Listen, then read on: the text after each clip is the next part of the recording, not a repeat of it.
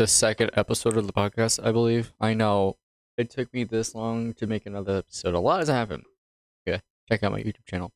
I made a video saying what has happened in the past few days, and in general, that's not an excuse because you know I had a lot of time to uh make a podcast, but like I didn't have a co-host. I really wanted a co-host for this, and he kind of did. Well, not he he didn't do anything. We had a little argument, sadly, and he's long gone. Admin administrator, he's uh sadly, you know, long gone. We had our differences, and that kind of spiraled out of control. And I said some things, he said some things, and it kind of just kaput us being friends for like what three years. We ended a really strong relationship that I wish it didn't end, but maybe it was good for me. I have no Alright, just fixing my C. I have really no idea. So let's not, you know, focus on that. Let's focus on something else. Let's focus on philosophy. Yes. I know. It's weird. Sarge, why, why are you talking about philosophy? Well, as you probably know, I am a philosopher. I made some statements, and I have a pretty good understanding what philosophy on. I'm not saying I'm not making my own philosophy or anything, but I do have philosophies, philosophize, philosophy phases that I believe in, and that I uh, I um almost not really preach, but you know go by daily. Um, what, first one is nihilism. I think nihilism. Nihilism is pretty chill. Um, kind of helped me on my depression, which is kind of weird. You shouldn't. It's kind of weird because nihilism is about the belief in nothing, like we were born to die, and very like a de- very depressing matter. But like it helped me with my depression was weird, right? Um, and that actually shows in one of my videos. There was a video of reacting to some people. They, did it get taken down? It must have gotten taken down. It was a video. I got my Huntress special two months ago. That's actually pretty swag. Um, wait, Roblox has a problem. Switching up channel. Um, the Mimic? I have no clue to be honest. Did it got taken down? It must have gotten taken down. Up content on my channel. Um, lacrosse, GTA server of the world. Gotta talk. That's bad. Not to prove you wrong. Um, I have no idea where it's at. Oh my gosh. And I haven't uploaded that many videos. What the crap? Oh yeah, I have uploaded a lot more videos than that, but I can't find it. I can't find the video. Um, a lot of cringe videos on here. You guys should check this out. I'm on my channel right now looking for the video, but it was a video me uh, reacting to these uh, activists, these weird activists being activists, and I was really damn nihilistic there, and it was kind of embarrassing how nihilistic I was. And uh, so yeah, um, yeah, I'm very nihilistic. Um, I'm mixed with Buddhism now. This is so good. I have a mix of nihilist and Buddha and Stoic, I believe. Stoicism, so I'm not completely nihilistic. Well, nihilism does help when it comes to uh, being mad at stuff. I was like, why am I mad? I don't get it. Why am I mad? I should be mad at this. I should just let it go, man. There's no need to get mad at this. So yeah, um, yeah, and like philosophy is pretty chill. I have a few quotes of my own or statements, more like. Um, I really like them and stuff. Um, actually, where's my phone? I can't find my phone. Um, we we have a problem here. All my quotes are on my phone. yeah, I can't find my phone. All right, it's fine. It's fine. Um, but yeah, my quotes aren't like super nihilistic. It's kind of more uplifting. Mm. I have one that says like emotions are like waves. You are the surfer. If you hanker, um, it, it goes on a little bit more, but like the main thing is like if you hanker on it on an emotion you'll wipe out meaning like if you get wrapped up in a singular emotion like depression or like being happy all the time it's gonna gonna hurt you in the end because you're gonna be you want that emotion more and more and more. You're gonna be dependent on it. Because if you're not happy then why? You're sad. You don't want to be sad. If you're sad then why? You're happy. But in, deep down inside you're still sad. It's just very bad. So you should surf on those emotions. To tackle them head on and don't get wrapped up into them. Make sure they pass by smoothly. Even though a lot of teenagers nowadays can't do that. Is i guess it's understandable. I don't know guess they can't i'm not them so i'm not gonna um diss them too much about that but you know you know you're just gonna wipe those waves of emotions. Try your best. Um. So yeah. Uh. I.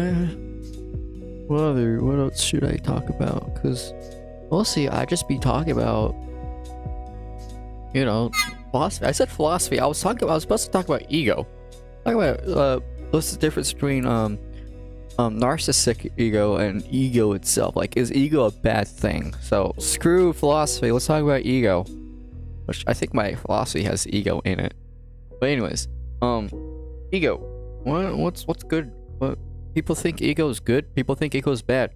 Um, I'll give you my opinion on ego once I get done eating this. Oh. it was pretty good. Um, so yeah. Um, ego. Is ego good? Is ego bad? Did we shun away from ego? Well, this is my thing on ego. Ego is good and bad. Ego helps you um have confidence. You to be sure of things. It helps you to um oops, oops, sorry, sorry. It helps you to uh be conf uh you know confident and uh almost uplifting.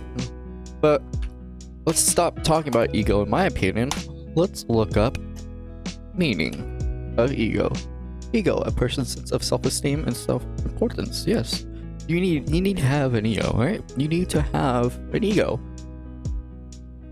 and there's there's there's there's good things that comes with ego. I just told you, but ego and pride. Whoa, okay. Ego is bad. Ego is a sense of self-importance that can lead to arrogance. Okay, it can lead it. So, let me tell you, this this is this is another thing I want to build on. Ego is good, but too much ego is terrible. Alright? There's a little fine line with ego, with a little ego, and there's a lot of ego. If you don't have if you don't have any ego, you're always second guessing yourself. You're always almost like shy and you, you, you you're like you're like small. You're small metaphorically speaking you're small. And you don't want to speak up for yourself. If you have ego you speak up for yourself. And you know you feel good. But too much ego is bad. You'll you'll seem like you're you're better than anybody else you're always right almost like a narcissistic value narcissism has a lot of ego in it that's what freaking narcissism is is built on damn ego I'm pretty sure because I know Peggy Hill. And, you know, too much ego is bad, but a little ego can go a long ways. So you need to separate yourself from too much ego into a little ego, which I have learned to do. What I do is that if I know something, that's where my ego would come in. I don't have much times my ego would come in. My ego would only come in when it comes to stuff I know, technology, gaming, and stuff like that. Everything else, I'm in the middle. I either I know a little bit about of it, a little bit of it, or I know about it. That's what it is. Uh, I know a little bit about everything, just just a little bit. Even when it comes to like one singular item, that item I can look at that item and say, okay, okay, let's let's look at something else. Let's look something on my desk. Okay, this little Space Jam ball. It's from Space Jam. It's made of plastic. It has a screw inside of it to keep it all in there. Right? Yeah, there's a screw inside to keep it all in there. I don't know why the screw is in there. Probably because it's made of plastic and it has a little bit of weight to it. See? I know a little bit about it. When someone picks this up, they say, okay, this is a ball from Space Jam. That's it.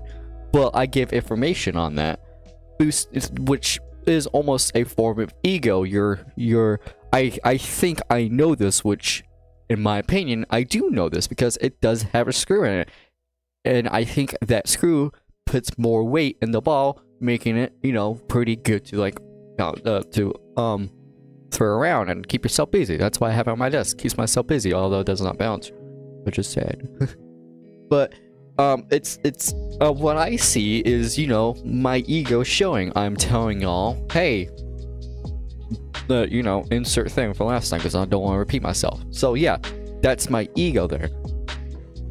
But when I see someone else has ego, I mean, sorry, let me backtrack. That was my form of ego. That's how I become little ego. I I look at stuff, give information off of it, and I see that as my own form of ego. Although there's other forms of ego.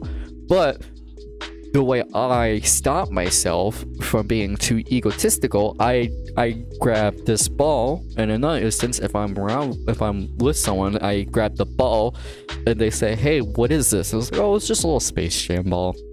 I'm not gonna say, oh, this is a little space jam ball from McDonald's. It has a little screw inside to add some weight to it. Um, and I'm assuming the screw keeps it all together. And you know, it has it's, it's fun to play around. I'm not gonna give an entire um uh, encyclopedia, right? Encyclopedia. I'm not gonna give an entire evaluation on this ball because that is me when my ego shines. I'm just gonna tell them, hey, this is a Space Jam doll. And if they say, and they say, oh, can I have this? And they play around with it, say, oh, this has a little bit of weight to it.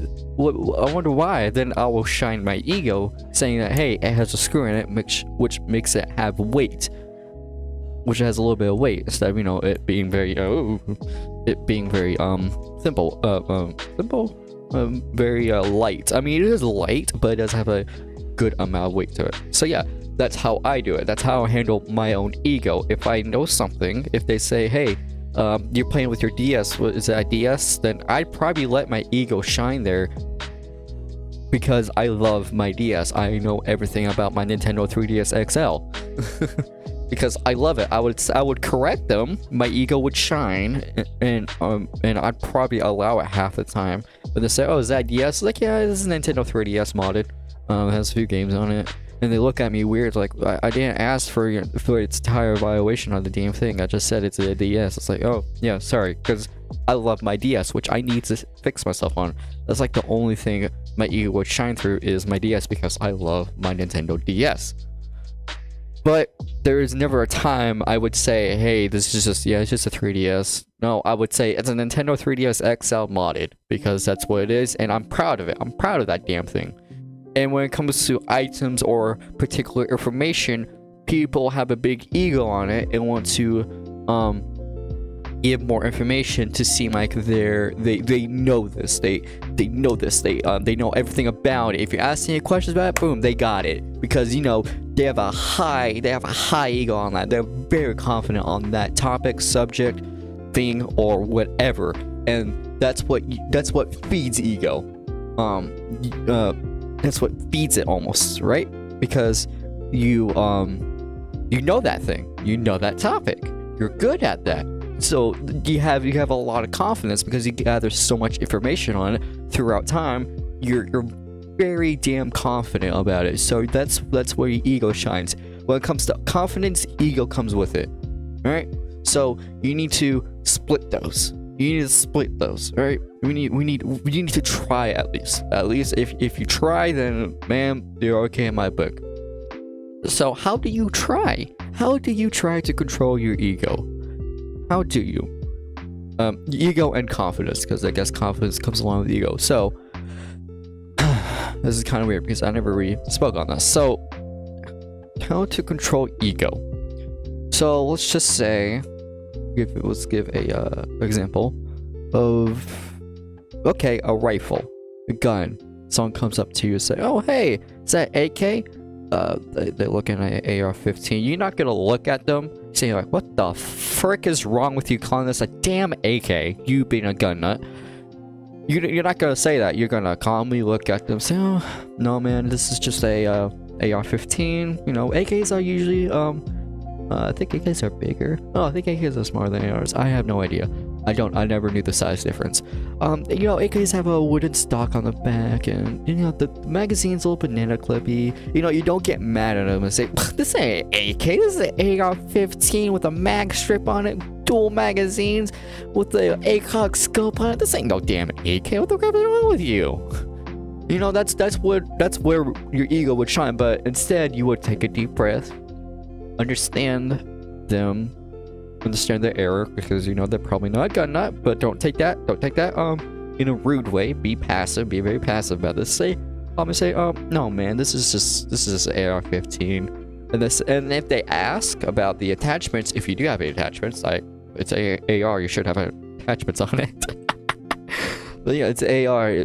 I assume it has a attachment. You calmly tell him, oh yeah, this is just a no flashlight, foregrip, no dual magazines. Be very passive about it. Be very calm, because if you if you be very, excited about it, it's okay, this is this is a this is a dual flashlight, 125 gigahertz on this baby right here. That's where you get more confidence. That's a, that's where your ego comes in. That's where your ego takes over, and then it will, will ramp it out of control if you don't control it which you know people do control their ego when when they when they get excited about something. Not saying you should be excited about something but when people get excited about something talking about it because um, you know they really like it. They're very confident they love that thing.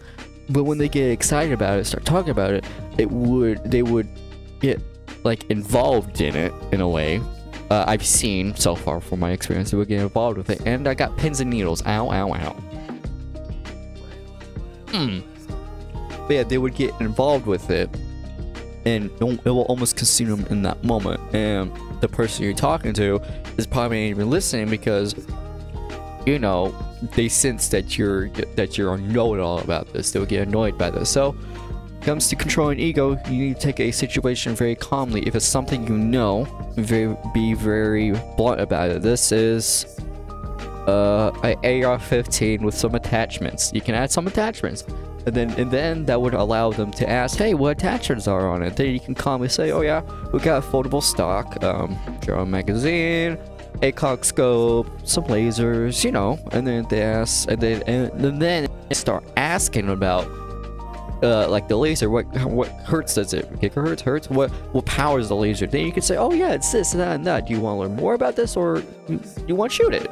You know, just be very passive about it. Give them the information, and if you really want to boost your ego just a little bit, ask them, hey, you want you want want to take a look at it? You want to learn about it? You want to want to look at the attachments and stuff? So you can talk about it, but you need to make sure that they're enjoying the conversation too, not they're not just agreeing with you just to make you happy.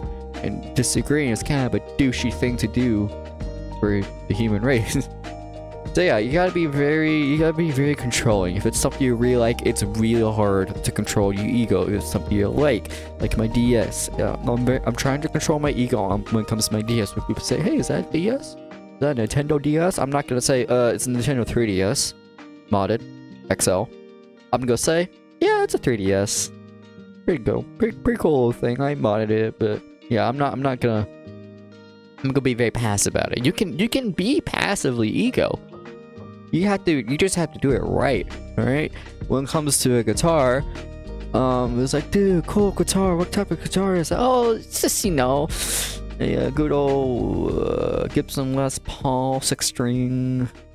Uh, I, I got the tune down to like drop down D, and then if you go down, if you keep on going down, keep on going, you're they they they, they will listen. Half the time they would listen, they won't notice it.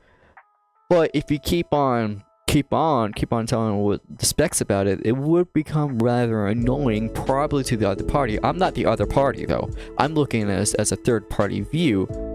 If I see someone talking about some talking about the guitar with somebody and I have to look at their response and you have to too. You have to look at them, see how they're responding, how the body language is. If they're if they're crossing their arms, nodding, and kind of you got the vibe that they're not really listening, they're just nodding just to uh-huh. Yeah, cool, man. Now, if they're like, oh, yeah, really? Oh, wow, okay, so wait, tell me more about it. Then, you know, that's a big difference. You gotta, you gotta look at the other party when it comes when it comes to you giving them information. You know, you boosting your ego on top of them. There's a good ego boost and there's a bad ego boost. Half the time there's a bad ego boost, but when it comes to good ego boost, you, you have it, it's all about the other party. The bad ego boost is them being annoyed that you're talking too much and that you're being very, very notable, don't know it all about it. But there's another type of people which I really like who listen, who understand, who wants to know about it, and that's the good ego boost. Bad one, I just told you. Them thinking that you're a know-it-all. That's a bad ego boost. But when it comes to like a good ego boost, or a good um a good let's uh a good self-importance arrogance a good arrogance? No no no. Pride. You know you're pride prideful about this. Uh ego i for some reason i think ego is pride. If i'm wrong tell me about it. I'm sorry. Send me send me a send me a gmail. sarge 69darge at gmail.com send me a mail and i'll respond to you. Apologizing my bad very hard about this. But yeah um so i pretty i pretty much i told y'all how to deal with you know certain ego boosts or pride boosts. Because i'm pretty sure this is pride. Talking about i don't know.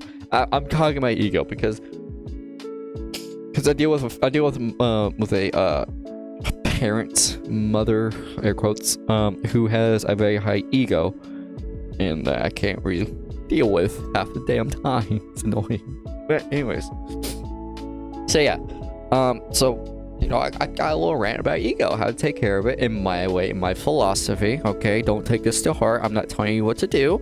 This is my philosophy.